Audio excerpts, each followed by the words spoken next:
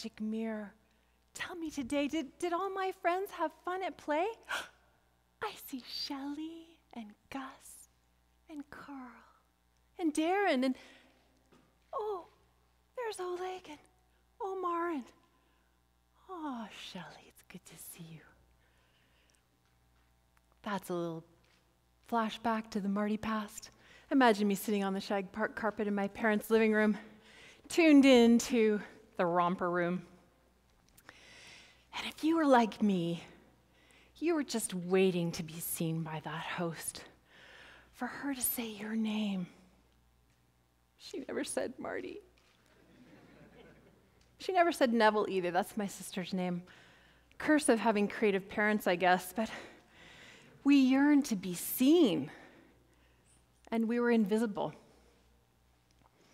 That's what I want to talk to you about today that sense of how we can see each other, how we can open up our world by opening up our eyes and opening up our viewfinder to seeing more of who's out there.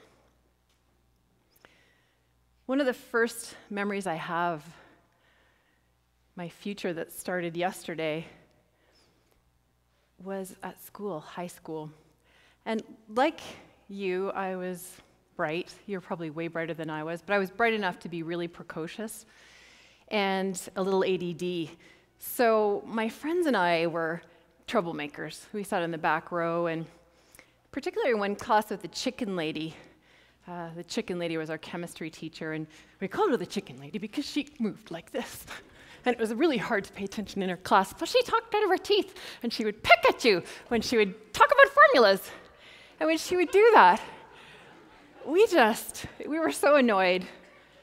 We were only more annoyed by the flab on the math teacher's arm. But anyway, the chemistry teacher, chicken lady, we were mean to her. You know, she was a caricature to us. She wasn't real. She was a cartoon character, you would expect. One particular day, as she was writing a formula on the board, my friends decided this would be the appropriate time to relocate the mobile lab in the middle of our classroom. And I burst out laughing because it was pretty funny. And the chicken lady! Miss Avery, stop it now. I want you to pick up your books and go to the library.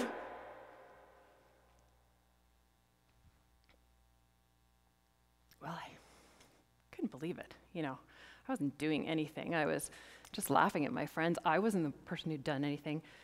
And as I picked up my books, I felt this prickly heat of shame rise through my body, up the back of the neck, and ignite the bulbs in my hair.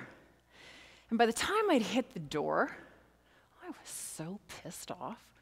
I was already strategizing how I was going to take her down.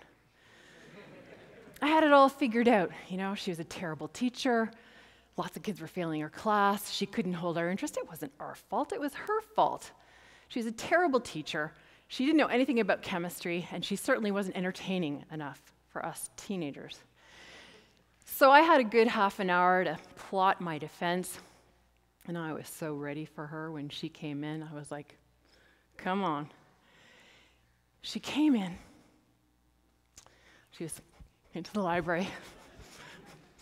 and she sat down and she said, I'm so sorry for picking you out like that.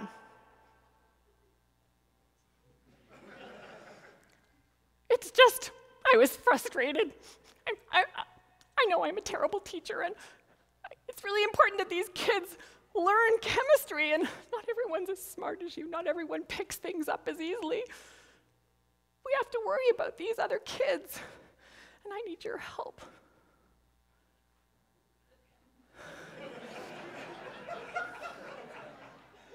Not quite how I'd pictured the transaction unfolding.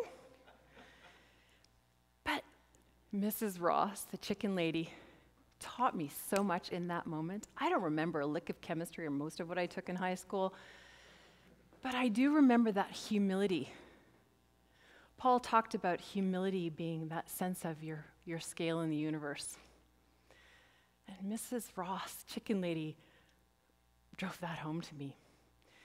She also taught me about how you can move yourself over enough to make room for another person to exist and to open up your field of view so that you're not the most important thing in the room.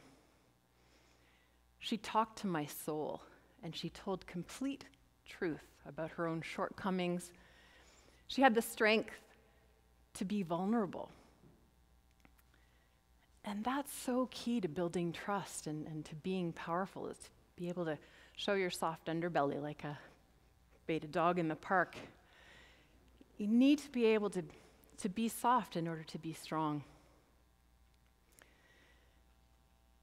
In Sanskrit, they have a word called namaste, which you've probably heard in yoga class. At the end of the class, teacher says namaste. And namast means bow to, and te means you. So namaste really means I bow to you.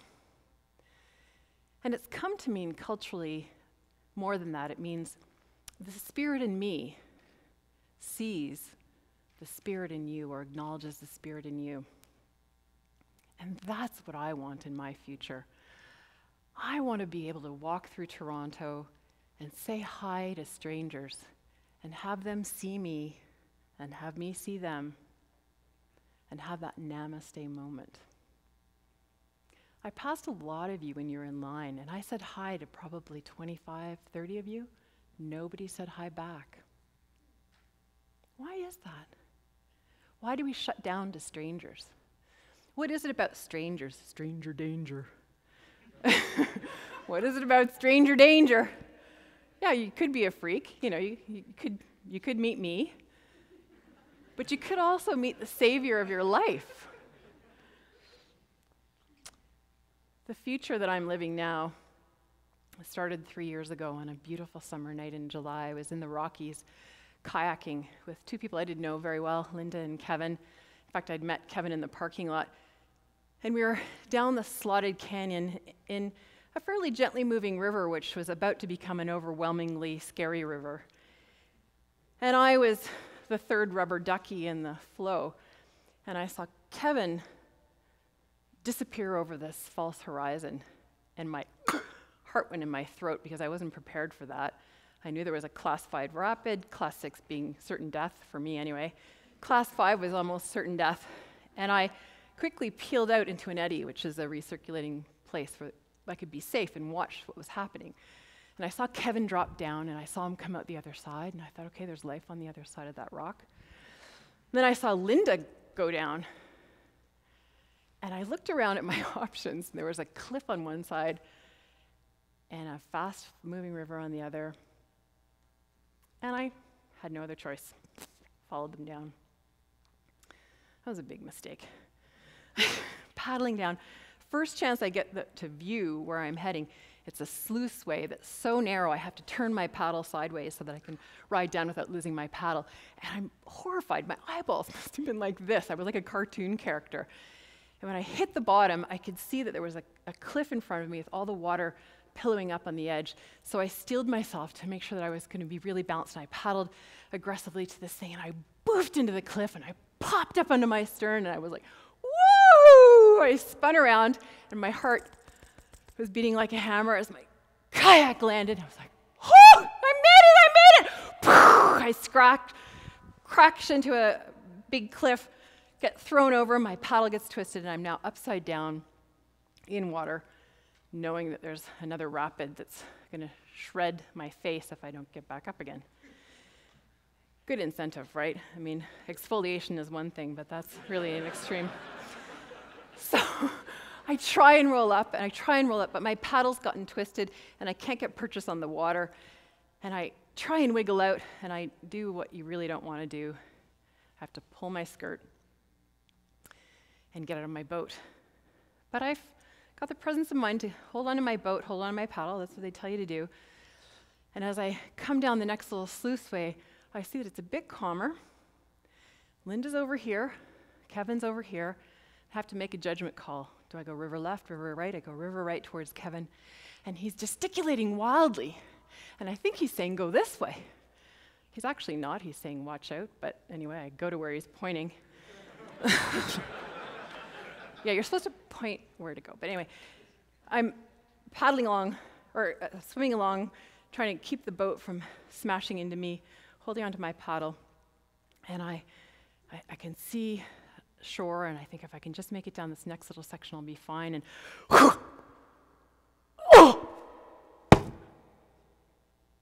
I'm pinned against a log. My boat comes in behind me, fills up with water, and it's like there's an elephant pushing on my chest.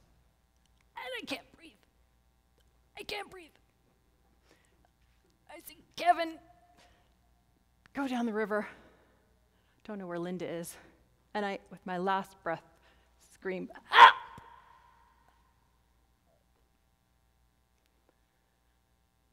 I don't know if he hears me or not. My brain's working fast. What do I do? What do I do? I try and move, and I, I tried so hard to move that I actually shredded the skin off my stomach and I couldn't move. And I look straight ahead and see my water bottle, blue Nalgene, traveling down the river, and I think, this is the day that I die. This is it. This is it. And I think, well, I've lived a good life. You know, I've, I've always done what was important to me. I've loved well. If I have to die, it's a beautiful night. Look at the light on the cliff. Think, oh, maybe I should pray. So my prayer goes something like, God, I know you're busy, there's wars and famine, and throw up my prayer. Nothing happens. And I resign myself to what's going to happen. And then there's a motion out of the corner of my eye that I see, and I look over, and up on the big rock that's got the log attached to it, I see Kevin. He's somehow miraculously paddled up the river against the current, against all odds, clambered up onto this rock in record time. And he's now looking at me. And I think, oh, God, I'm saved, I'm saved, I'm saved. And he very carefully positions his body and he, he's trying to not fall in because that would be deadly to him. And he reaches over as far as he can without falling in and he tries to move the bow of my boat, and it doesn't move a millimeter. And I think he's going to feel so guilty for the rest of his life. and that really sucks. And I can't tell him that I'm okay with it. I have no air to tell him I'm okay with it. And then my martial arts training kicks in, and I think, circles, dance with the enemy, move with the flow. I'm not moving with the flow. How can I move with the flow? How can I do circles here? What if I roll my body over the log? And I'm trying to tell Kevin with sign language as sparkles start to appear before my eyes that I'm going to try and put my face in the water. And if he could just, you know, maybe jump or something while I'm doing that, that it would be good. And um, from his position on the rock, he sees me go pale blue. And he sees my eyes roll into the back of my head as my face falls into the water. And that's the call to action that he needed. And he jumps in, whoosh, pulls my boat with all his weight. Boat goes flying off, and we both float down the river, crawl onto a beach to safety. He was a hero. But what's a hero? You know, what did he actually do? Well, he was prepared to trade his life for my life. The spirit in him saw that spirit in me about to expire. And it's not that he didn't consider his own safety. I know he did because I saw him step back. But then I saw him make the decision and step back in. And that's made all the difference to whether I have a future or not. So I really want to encourage us to try and step into that namaste moment more often with our colleagues and our friends and our family. And when you're sitting doing emails at night and your partner comes over and says, Can we talk? That you say yes, because you're only going to have that conversation once. If you don't have it then, that conversation is going to go away. That if you see a stranger in the street, you look at them and you smile at them. You have them be seen because in my books, the biggest sin isn't murder. The biggest sin is indifference.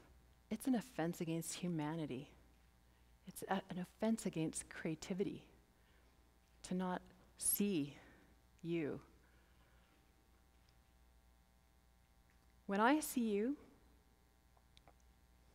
I see a bit of me.